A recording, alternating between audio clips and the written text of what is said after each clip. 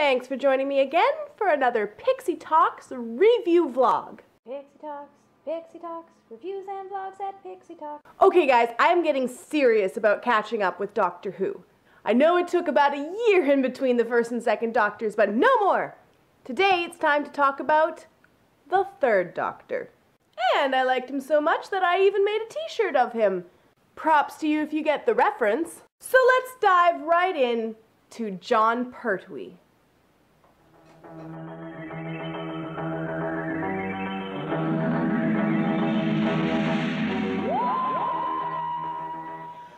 Doctor Who!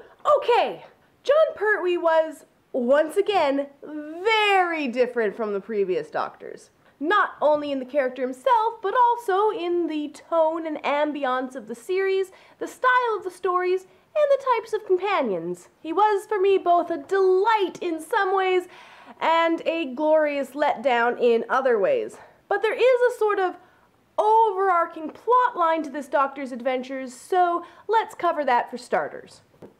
This Doctor begins the series with amnesia and without a functional TARDIS.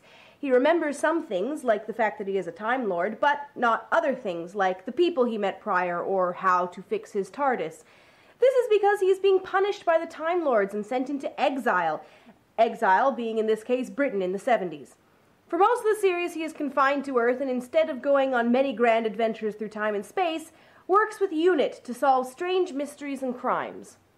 Unfortunately, landlocking the Doctor like this sort of took away some of my favorite parts of the show.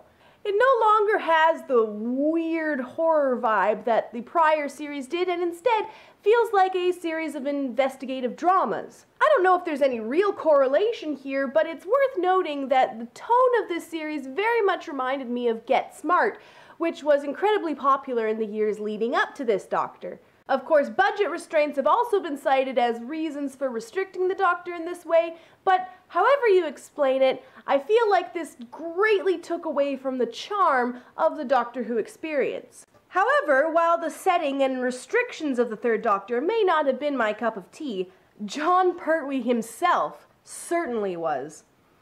Oh my word, does that man have some charm and charisma! From the first scene where he gets to really showcase his personality, I knew I was going to thoroughly enjoy watching him.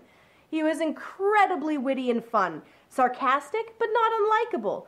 He was, more so than his predecessors, really the kind of man that would make you want to follow him into the unknown. His companions and other secondary characters are a little less stellar. Not that any of them were awful, they were just all sort of passive and cardboard. Brigadier, the leader of UNIT, was at his best a bit comedic and at his worst frustratingly annoying. The only companion from here that I truly enjoyed was the wonderful Sarah Jane Smith, who was only around for the last season of this Doctor. Incidentally, the last two seasons are the ones where the Doctor's TARDIS has been restored and the stories get fun again, so she does have more to work with. Her introduction in The Time Warrior was a real treat and fleshed out a delightfully feisty and empowered woman. Were some really vibrant episodes in this series, some of my favorites being Day of the Daleks, The Three Doctors, and Planet of the Spiders. Planet of the Spiders is the last episode of the Third Doctor, and for me is incredibly notable as it explores some of the core character of the Doctor and gives some stunning looks into his mind, a thread that I really hope will continue to be explored in later incarnations. All in all, I have mixed feelings.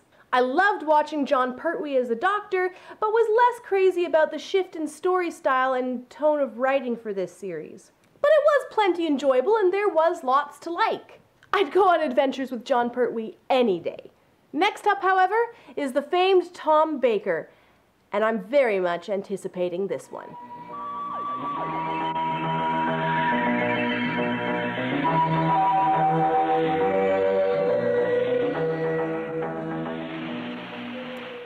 That's it for my review of Jon Pertwee, the third Doctor.